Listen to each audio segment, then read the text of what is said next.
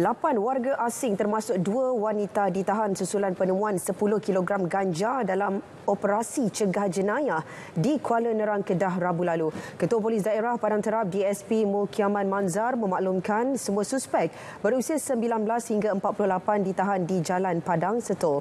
Penahanan dilakukan kira-kira pukul 4 pagi setelah kenderaan dinaiki warga asing berkenaan dalam keadaan mencurigakan. Pemeriksaan dalam kenderaan menemukan beg galas mengandungi ketulan mampat dan satu guni ketulan mampat di Syaki Ganja.